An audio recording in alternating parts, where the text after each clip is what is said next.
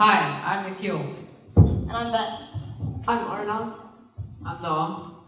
I'm Vivek. And we're the, and we're the UMPs, Universal Mechanical Pencil. So our solution is we have designed a pencil that can use 0.9, 0.7, and 0.5 uh, millimeter lead, but and you can switch, you can easily switch between all three. So the customers that we're targeting are students over the age of 10, and we created a website called www.theumps.co to advertise and sell our pencils. And we're also advertising through social media such as Facebook, Pinterest, Snapchat, and Instagram. We've tested this product with real people and interviewed those people. Everyone says that they have a problem with their mechanical pencils, and it's always that they don't have the special type of lead for their pencil. After testing our product, everyone wants it. Here is our pencil. And it, we, made it using a 3D printer. Uh, the design for the tip over here is designed specially, so when you twist, when you get to select the type of blood you get to use, it'll only one type of blood will come out. Here is the mechanism we use to, to change different types of blood. This ring can be used to twist the tubes, and tubes will come out through the top, holding the lead, and then right. On the screen, we have bottles of our uh, our pencil, and the cone is shaped, as I said, so only one type of lead will come out, and the pillars you see are the lead tubes holding the lead, and then the ring is what we use to twist. So, um, we're targeting students in America, and in America there's 71 uh, million students.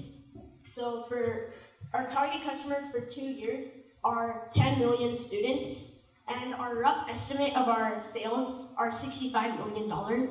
Our um, product will retail on our website, um, Staples, Amazon, Office Depot, Depot. So for each pencil, it may it costs 75 cents, all expenses included.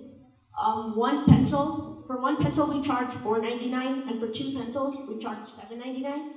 Our gross margin is from 80 to 85 percent, and our profits for one pencil is um, around four dollars. And our gross margin for two pencils is around 81%, and our profits are about $6. So this is a graph which shows our product compared to our competitors such as Uniball and Papermate. So for the youth impact, this product helps students save space, money, and time. This helps them solve their pencil and lead problems for youth, so they won't have to go in their backpack looking for the right type of pencil and the right type of lead. This will become popular among students and shared because students will go to one another saying, look at this amazing product and pencil I found. Thank you. Check out our website, theumps.co.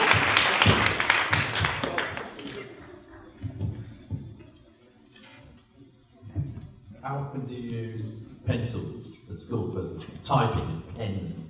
Uh, middle school, yeah, middle school. Are we, are we graduate from pencils? Uh, well, you see, many schools, like our schools, they don't actually use computers. It's mainly just for like typing reports and other such. It's usually just writing with your pencil on paper. Not pens. Not really pen. Pen's just for like grading your. Yeah. Yeah. Do you guys have any design changes from the first prototype to this one? Um, our first prototype was a pen with three different tabs that you could press down to have three different types of lead, and we changed it to this one because it's easier and a, a lot cheaper uh, produced it. Uh, why mechanical pencils? Is that what everyone's using? For normal pencils, you have to go to the sharpener time and time. So mechanical pencils are a lot more convenient because you just have to click them and that comes out. Do you have any rough estimate of the, the percentage of people who prefer mechanical pencils to traditional pencils, like in your class or at your school? I would say more than sixty percent of the people in my class use mechanical pencils, so a large portion of students, I. In my class, pretty much everybody uses a mechanical pencil. Um, out of all my friends that I asked, every single one of them uses a mechanical pencil. What about, what about non-students? Do you think that there's a market there or, or not?